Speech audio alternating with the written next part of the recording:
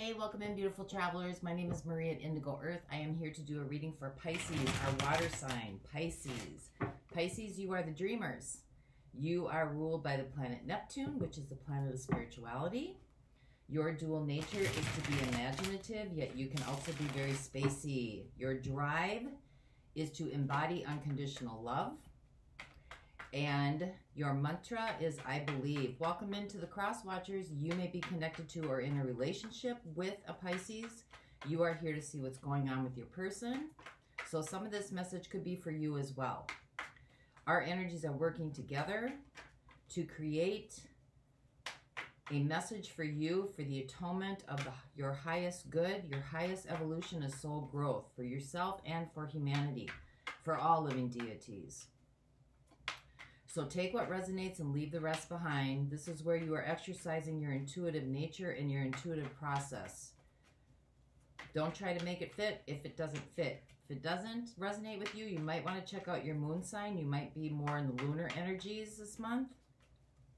That is always an option too. And time is fluid, so anytime that you come across this message and you were drawn into it was the time that you were meant to see it. So stay open to that. And if you like the content being shared, Please like and subscribe. Help the channel grow. That would be much appreciated so that other Pisceans can also get the messages needed for them as well. So let's get a theme going for you here, Pisces. Let's jump into this. The dreamers, the water bearers. Good to have you here. see where we go with you today. Here we go. I'm going to keep this one because two popped out. We have the Ace of Pentacles, New Beginnings, and Justice. Wow. Way to kick it off, Pisces. New Beginnings and Justice. This could be karma. Good karma coming back to honor you. Cause and effect. Rising above harmony, blending, balance. This is Libra energy coming in as well. Flow. So let's see what that's all about for you, okay, Pisces? All right, Sun, Moon, Venus, and Rising. This is messages for Pisces, please, and all those watching for the highest atonement of soul growth and soul evolution, for that of the planet and of the universe.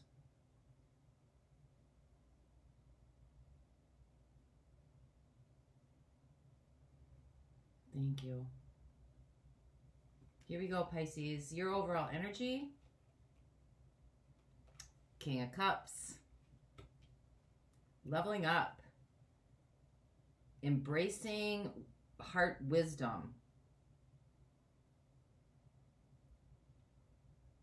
Moving forward from, this is kind of like almost like um, evolving. Evolving from, from your heart chakra. Like moving to another level your situation, the Knight of Pentacles. Wow, a gift coming in, some sort of message coming in. Um, something being brought to you, something coming into you to kind of move you forward in this spiritual path or move you forward in evolving. This is a good sign, good good fortune coming in. Your situation, Six of Cups, that's that real, pure, innocent energy. That's that feel good energy. That is energy that is um, reciprocal, giving and receiving. It's just a real, pure, innocent type of energy, almost childlike, playful. What the universe is crowning you with is the Page of Cups.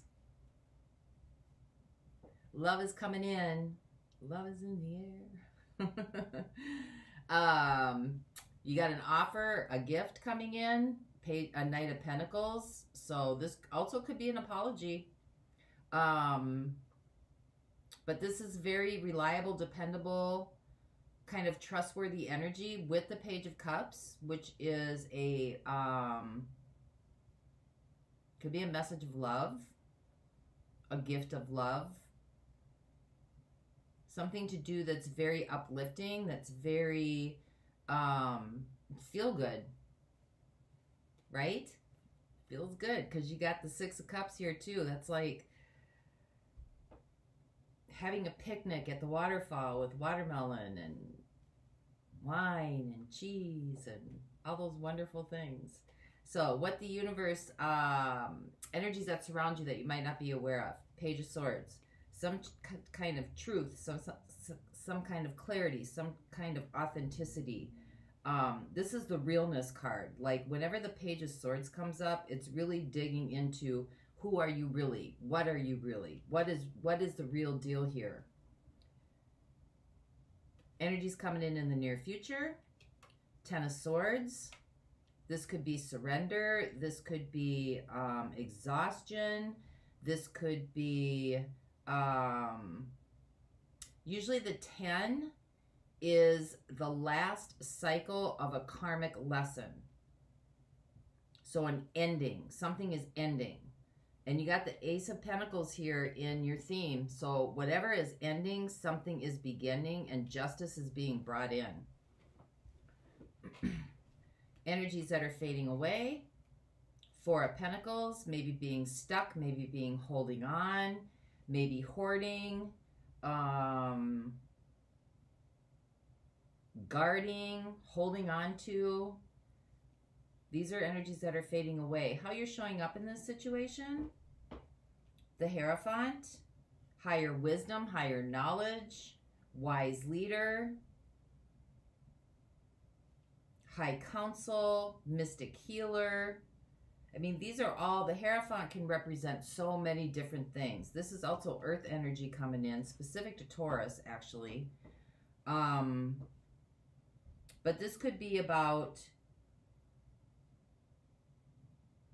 council, having high council.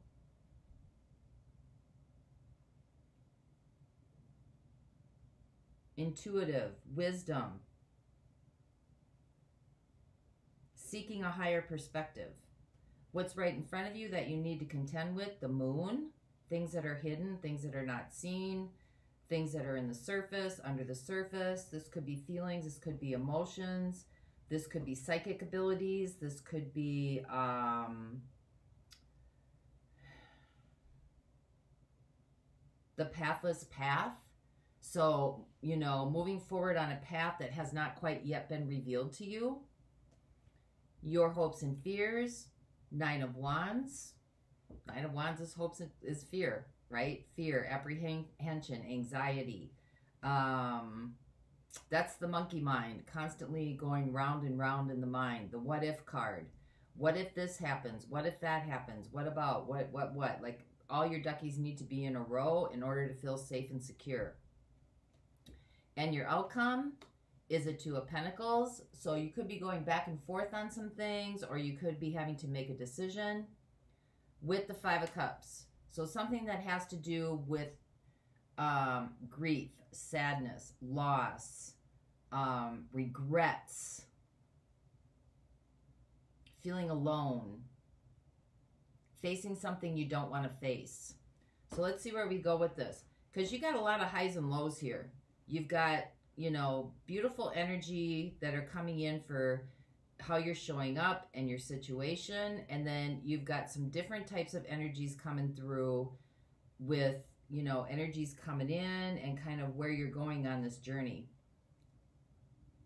So it's like high highs and low lows. So let's see what's happening here with you, Pisces. Clarify the Knight of Pentacles, please. This is gift and offering. This could also be somebody coming back from the past as well.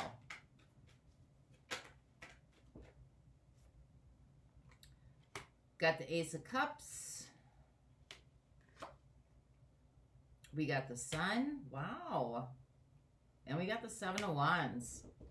So this could be somebody coming back offering an apology. Somebody coming back from the past um, that may be offering you an apology or a cup of love or, you know, something that's going to give you clarity because the sun is here. So something that's going to give you clarity about a situation.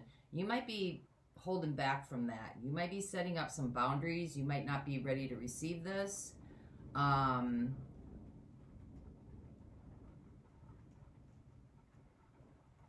you could be taking a step away You could be guarding yourself. You could be defensive, or they could be defensive. You may be offering this to them or to somebody else. So take that how that resonates with you. So, what is the Six of Cups here? This could be somebody coming back from the past. Um, this could also be about nostalgia, memories. This is a very childlike nature. We got the King of Wands, some somebody with a lot of passion,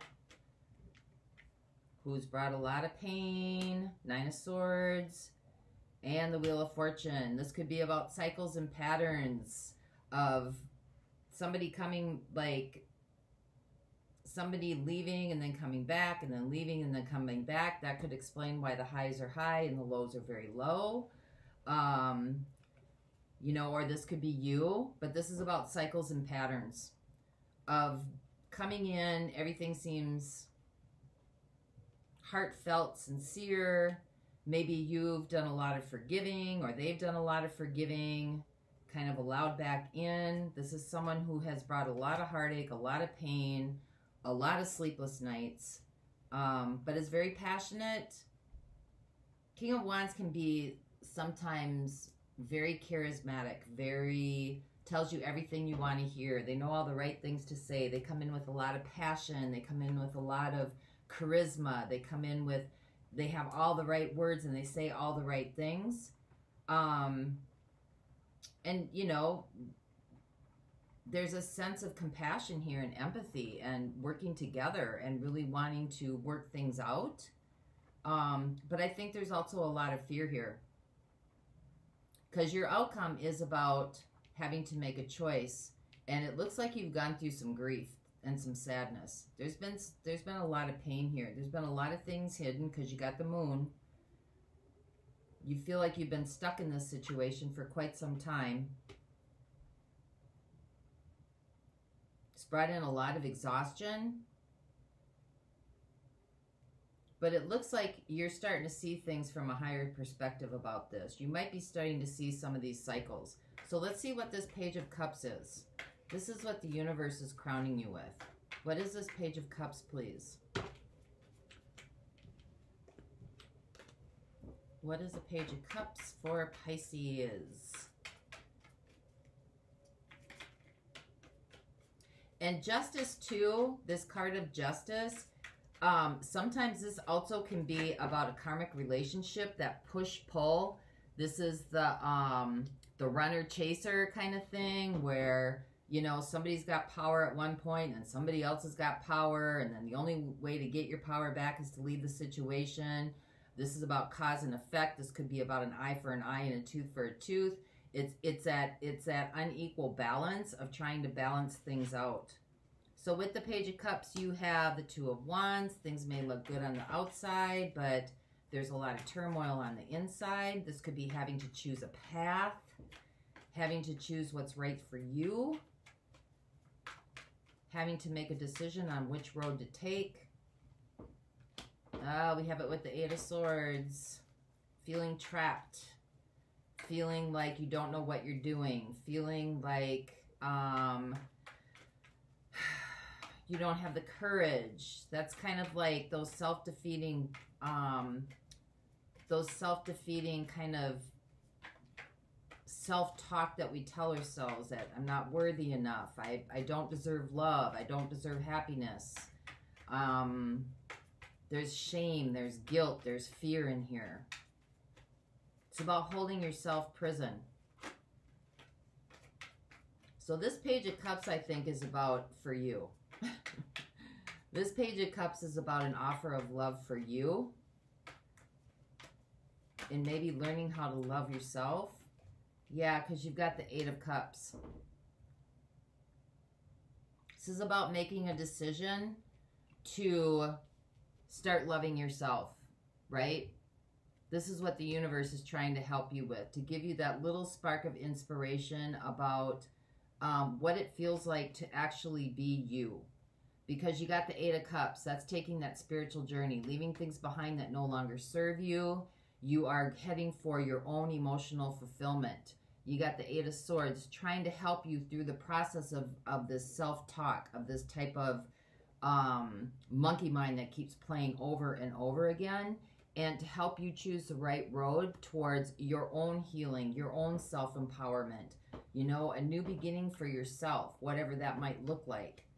Um, sometimes that doesn't mean that, you know, other things have to left, be left behind. Sometimes that could just be taking a break Sometimes people need to go their separate ways for a little while so that they can learn their own lessons or take their own journey before they can come back together again as two very interdependent people. But there's definitely a cycle here of leaving and coming back and leaving and coming back. And it, and it looks like it's caused a lot a lot of um, emotional upheaval upheaval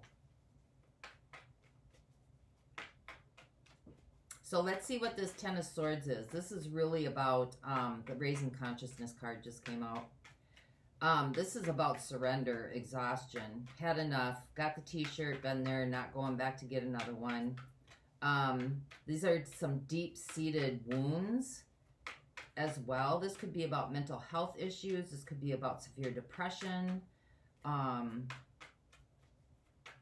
this could be about, you know, those deep seated addictions that are like generational in nature and then get progressively worse, like alcoholism, drug addiction, abuse, um, things that have been carried down from from the ancestral line.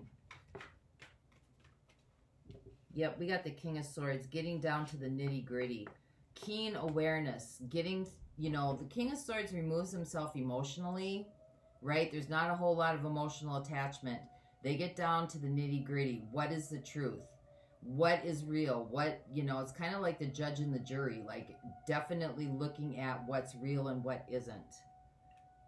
Got about love with the Knight of Cups. This is about what what is love or what love should look like. Oh, I got the excuse those sounds in the background. That's the tornado sounds coming in, I think, or thunderstorm warnings. Or is today Wednesday? It might be the um, first Wednesday of the month.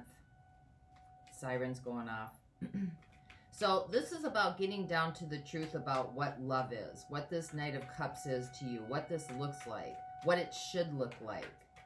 When you come in with an offer of love. Sometimes the Knight of Cups can be about a whirlwind romance um, it could be about a dreamy situation or being very dreamy about love, kind of that Disney on steroids type of love. Getting down to the truth about this. Give me one more, please. We have the Five of Swords. And we have the Hermit. And we have the Star. Those wanted to jump out, so I'm taking them. um, Five of Swords is about having it's about conflict. It's about having to win. It's about um feeling like there's a lot of competition. And if you got if you've got cycles and patterns going on sometimes this is more about winning or having to conquer um because when that knight of wands comes in their goal that king of wands the goal is to win. The goal is to win over. The goal is to be seen. The goal is to kind of like um, get what you want, right? And it's left you feeling very isolated. It left it's left you feeling very alone because you've got the Hermit card here. Um, there's also this could be like a hidden motive that this is what you know the five of swords and the hermit that this is what the goal is in this continuous cycle it's about the chase, maybe to see if you can get the chase. Um, and then we have the star. This needs to be healed.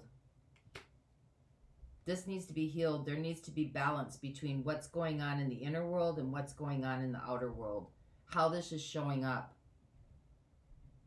Because again, there's a lot of high highs and a lot of low lows. Somebody's somebody's constantly feeling on the outs.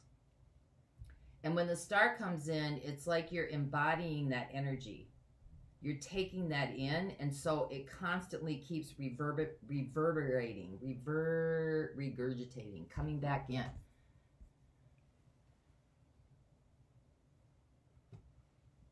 so let's get some clarity on the Hierophant. Starting to see things from a different perspective here. This is how you're showing up in the situation, Pisces.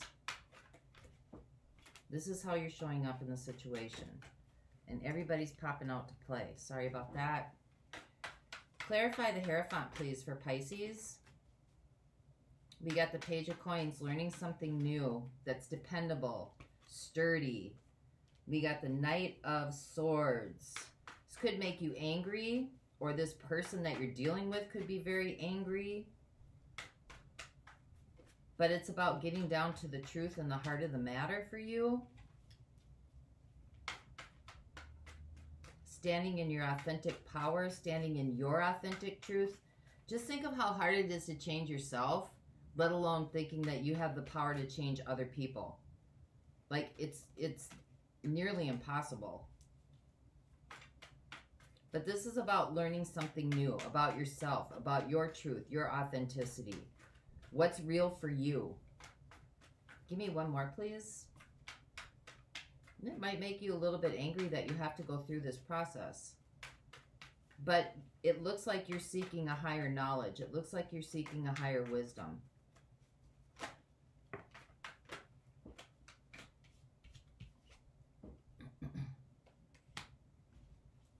Could be anger about feeling stuck. You got the hangman, but the hangman can also be about new perspective, right? When you have that with the hierophant, this could be about looking at this from a from a different angle, from a new perspective. This could be looking at this as cycles and patterns that need to be broken. You know, somebody's kind of got to put their finger in there and stop the wheel from spinning and just stop it so it doesn't keep happening over and over and over again. So let's see what the moon is for you. So we have fire energy coming through here. Had the King of Wands, Aries, Leo, Sag. We have um, Earth energy coming through. Capricorn, Taurus, Virgo. Justice is Libra. That's air energy. Kind of got a mix of everything. Stars, Aquarius. That's earth or air energy again.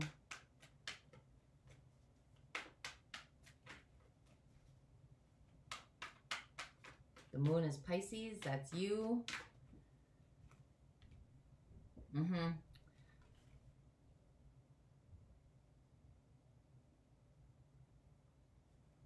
So this is, the moon is representing, you're searching for the truth. And we've got the Six of Cups coming up again. So th this is about something that's coming back from the past or someone who keeps coming back from the past. This could be a karmic soulmate as well because the Six of Cups is a soulmate card. This could be somebody who's here to like try to teach you a lesson, the lesson about attachment maybe, about cycles and patterns. Like there's a bigger picture here. It's not just about this person or the relationship, right? This is about this is about cycles and patterns of attachments and addictions, things being held on to, desperations. Yeah, we have the Six of Swords, moving away from that with the Nine of Pentacles. So moving away from that so you can gain back your own sense of personal power, getting to the truth about what why this keeps happening. I think you're already questioning it. What this pattern is, why it keeps showing up, coming back. Um, feeling stuck, not understanding it, and and I think now that you're starting to see it a little bit more clearly because you because it was hidden it was hidden from you. That's what you're looking at right in front of you right? Getting to the truth the raw truth. That's the ace of swords. Like that's a powerful truth about maybe past issues past child things from childhood things that kind of built this foundation or about this person who keeps coming back and it looks like you're walking away from that. You're leaving that behind. And you're heading towards your Nine of Pentacles, your own personal power, self confidence, um, self esteem, you know, building your own empire, working on yourself, I'm going to get one more pull on this outcome for you as well.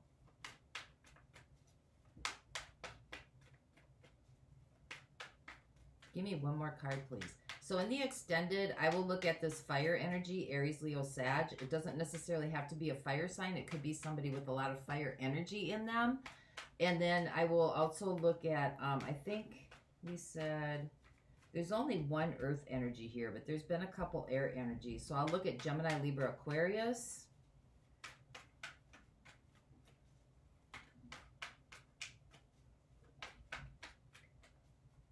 Find out what the intentions are there. So in your outcome, you have the Two of Pentacles and you have the Five of Cups. Okay, so making a choice Working on regret. We've got a couple here that are jumping out. We have the moon again. So that's about secrets. That's also about working with your feelings and your emotions. We have the two of swords, things that you are don't see clearly. Things and we have the we have the Hierophant again, seeking higher wisdom. So making a choice to work with this grief Two of Pentacles, making a choice to work with this grief of sadness and loneliness and pain, regrets um, around, you know, your feelings, your emotions, those deep inner secrets. Something that you probably up until now have not really dealt with, have kind of closed yourself off of, haven't been able to see but you've got the Hierophant here again. This is seeking wisdom. This is seeking higher counsel. This is seeking understanding. This is seeking spiritual, um, this is evolving spiritually for you. To be able to see these patterns spiritually, that they're not necessarily from the person, they're necess- they're they're probably from things from childhood, things that are ancestrally handed down patterns, pattern imprints. So, with that, my friends, my Pisces, I will get a card from you from the Sacred Creators Oracle by Chris-Anne. For those of you that are not going on, something to marinate on for you for this meeting. For those of you going on, the link will be below. I will look a little bit more into this outcome. I'm going to look into um, this Nine of Wands for hopes and fears. I'm going to look at um, air energies, Gemini, Libra, Aquarius. I will look at fire energies, Aries, Leo, Sag. I will look at tendencies that need to be released during this time, and I will look at energies that need to be embraced for you. So here we go. Let's get a message here for those who are watching, please. For those who are watching. You are epic. You are epic.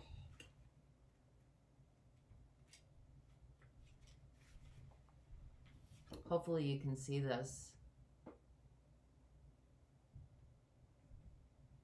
A lot of yellow in there, a lot of sunshine. The essential meanings for this using passion and logic together, providing care for others, strength of spirit, strength of spirit, warrior soul, knowledge, leading others, stability, planning and growth, the pinnacle of success, creating order from chaos, and building your dream. There's your Nine of Pentacles. Your self care message rigidity, not leaving space for serendipity, being overly pragmatic, working too hard and overextending yourself, and unconsciously blocking your epic journey. This is your epic life. Can you see it yet? It's just over the horizon. And you are at a point where you have the wisdom and the experience to make it happen. Your stamina and hard work are paying off, and you are being called to bring order from any chaos you've been experiencing. It's time to take the leadership role at the helm of your life and navigate confidently into areas that you haven't explored yet. You're ready.